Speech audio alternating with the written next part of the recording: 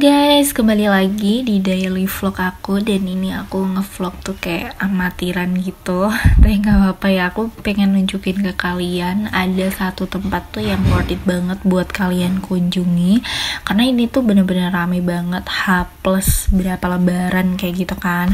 Dan ini beberapa spot yang aku tag aku pengen nunjukin ke kalian bahwa spot ini tuh worth it banget. Ini kawah Sikidang terus tadi tuh ada batu pandang gitu kan. Dan ini tuh dua spot tapi udah yang recommended banget gitu worth it banget. Apalagi biaya masuknya tuh kayak murah banget gitu loh guys. Nggak sampai 50 ribu tapi kalian udah bisa menikmati alam seindah ini ya. Terus juga hmm, kalau misalnya ini tuh lagi rame banget tapi kalau misalnya hari-hari biasa weekend kayak gitu nggak terlalu rame banget tapi emang rame gitu ya. Tapi worth it lah ya. Ini tuh masuknya tiket 20.000 tapi kalian udah bisa dua wisata yaitu ke Kawasi Kidang dan juga Candi Arjuna gitu. Ini btw mohon maaf ya vlogku tuh kayak ngasal banget dan emang ya nggak ada niatan buat upload ke sosmed juga sih tapi karena punya durasi video beberapa menit jadi aku gabung-gabungin aja jadi satu nanti bakal aku upload kayaknya di YouTube ya jadi kalian wajib banget nonton kegabutan oke okay?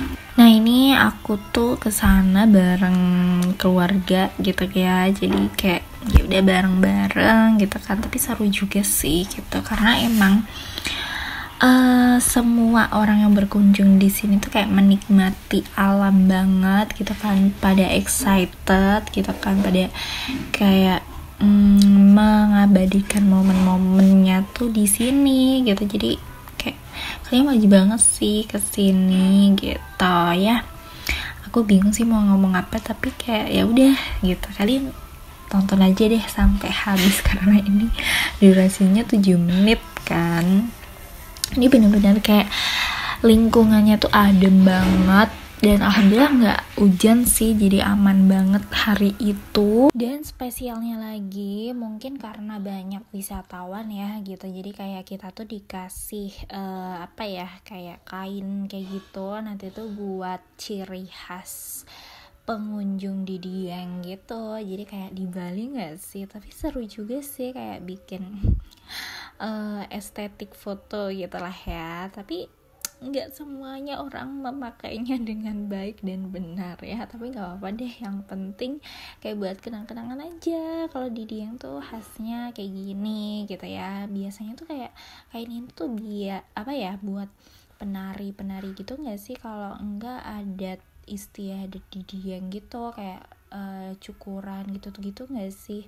Komen ya yang tahu. Nah ini dia ini tuh candi Arjuna bener-bener kayak bagus banget guys. Kalau misalnya kalian ke sini dan udaranya tuh kayak segar banget terus juga kalian bisa dapetin ilmu baru sih pastinya. Kalau misalnya kalian tuh kayak tahu sejarahnya gitu. Btw Dieng tuh pernah loh kayak hujan uh, kayak es gitu di sini. Dan ini tuh bi apa ya kayak ya gitu deh. Udah deh ya. Aku bingung mau ngomong apa. Btw ini durasinya 7 menit tapi baru 4 menit ya. Kalian bisa lihat aja ini tuh kayak duduk-duduk di rumput dan ternyata rumputnya basah. Dan akhirnya ya udah gitu ya.